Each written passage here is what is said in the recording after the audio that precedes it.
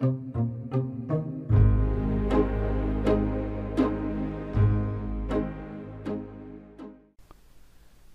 学们好，我是无为网站长并大 CFI。下面的视频呢，我来为大家讲解在 Chrome 里面如何来创建一些拖拉式草绘。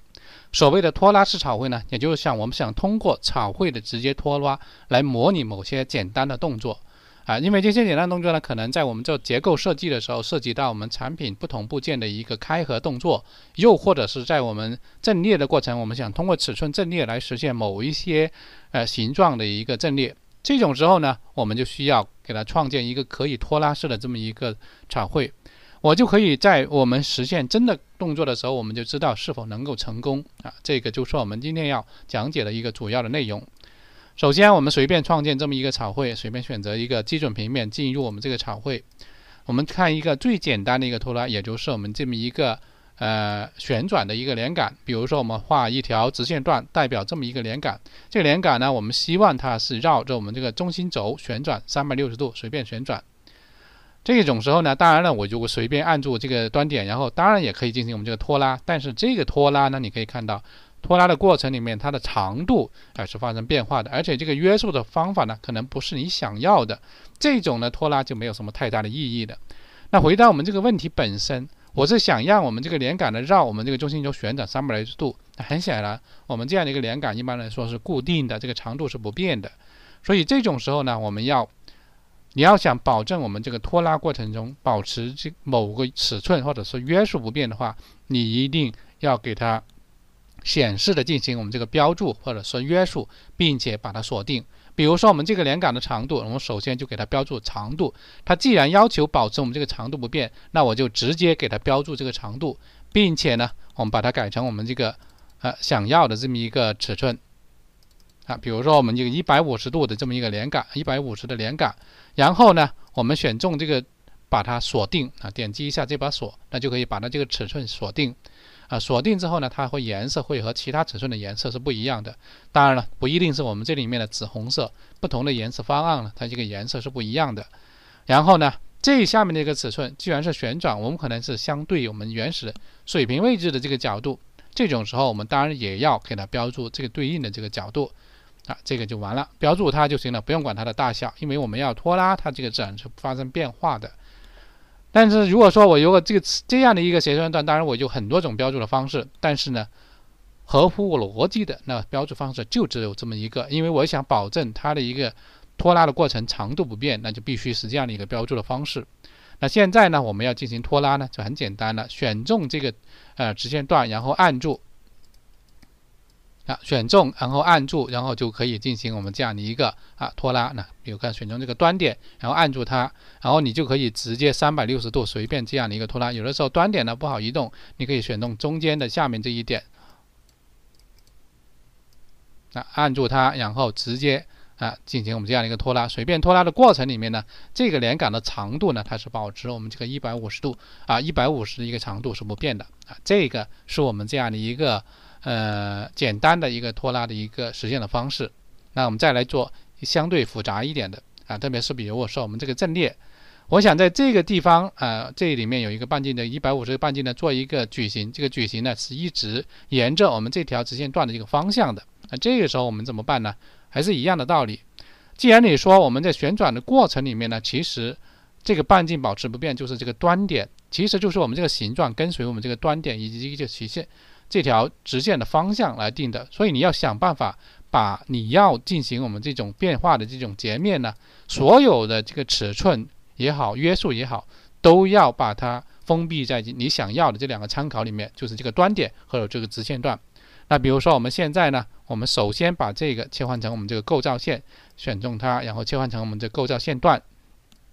然后呢，我也可以放下这么一个辅助的一个中心线了。这个中心线呢，我可以约束它和它的一个垂直啊，这个方便我们这个草绘。现在我要做一个矩形，那我就随便啊画出我们这样的一个矩形啊。这些矩形的曲线段关系呢，你可以随便一点，避免它自己约束一些不合理的关系。然后你现在呢，就来给它约束你想要的这么一个关系。首先，我们希望它这条线呢和我们这个平行，这边呢当然也和它这个平行。啊，这是必须的。然后呢，我想要这个和这个平行啊，当然也是和我们这个平行啊，这个关系我们首先把它约束到最好，然后这边呢，我们想让它居中对称，那我们就让它关于一条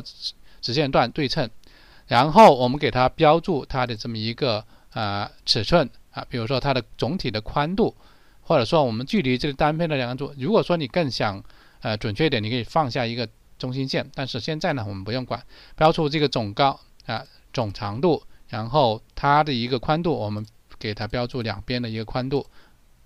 啊，标注两边的宽度，然后约束它们两个相等就好了，反正也是一样的。比如说我们这个单侧，我们给它是五个 mm，然后这个长度，比如说我们给它三十，啊，这样的一个形形状。那你可以看到，对于我们这个形状来说，实际上我所有的参考呢，我都约束在我们这一条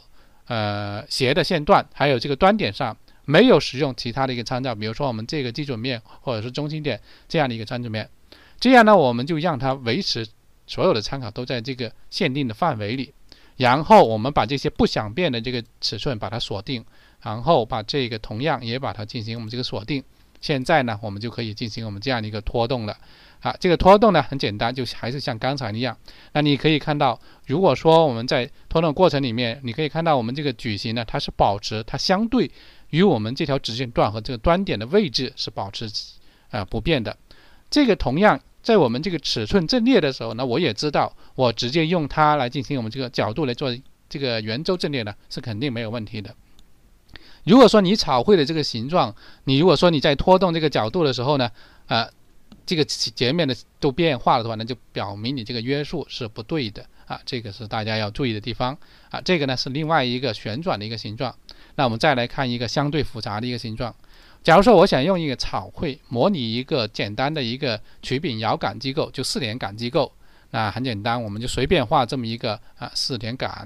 啊，这个四连杆你要选曲柄摇杆的话，那也就是说摇杆这个呢相对也比较长，曲柄呢要比较短。那比如说这样的一个啊这个机构，就说我们这个是主动的这个旋转带动，我们这个摇杆呢就来回往复运动啊这种场合，那我们应该怎么办呢？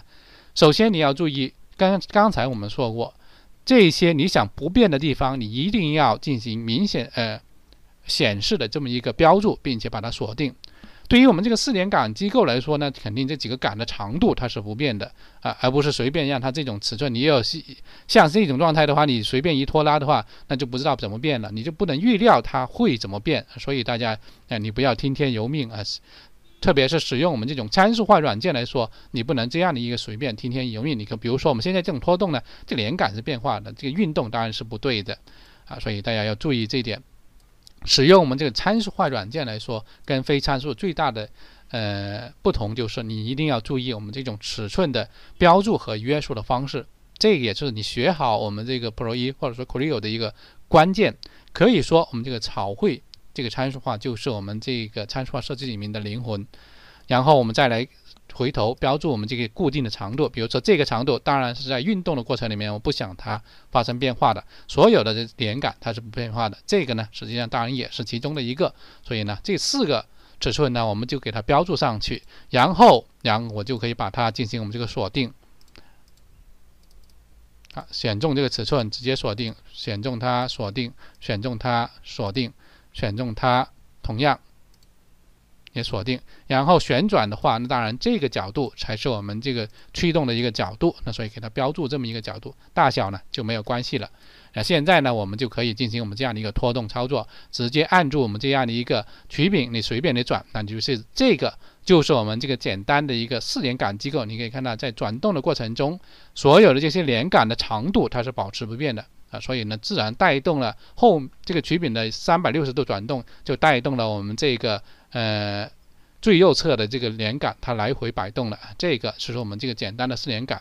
当然了，你其他复杂的一个机构，那也是一样。假假如说我们这里面再连着这么一条呃滑块，这个滑块是这个滑块呢在这里运动啊。假如说我在这里就用一个小圆圈代表这么一个滑块，这个连杆呢，这个摇杆带动了我们这个滑块呢是往复的运动。这种场合呢，那你可以看一下，你这种约束呢，当然就不能随便这样的约束。这样的一个转动的时候呢，当然这里后面呢，你就不知道它怎么变了。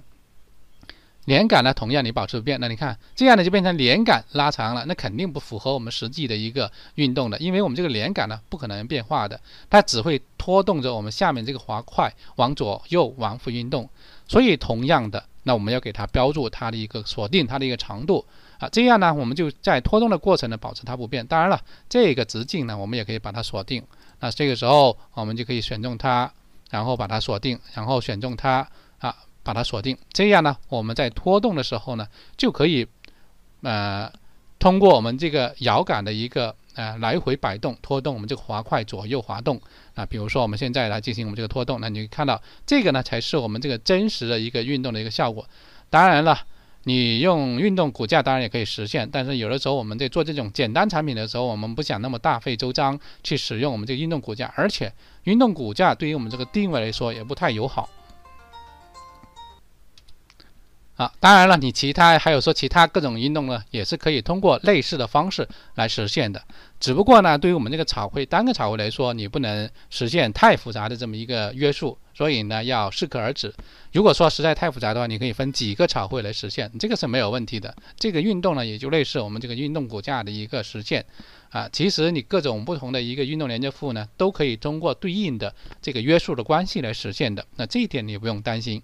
啊，这个实际上我们就是今天主要讲解的内容啊，并不在于你学会多少这样的一个实现的方法，而在于你需需要有这么一个观念，要注意我们这种不同的约束和尺寸，实际上就代表着我们将来你想保持哪样的一个关系，在运动的过程中保持什么样的关系，这个才是最重要的。你明白这一点呢，在我们进行我们这种创建草绘的时候，就不会随便乱进行我们这个标注或者说是约束了。那今天的这个视频就讲到这里。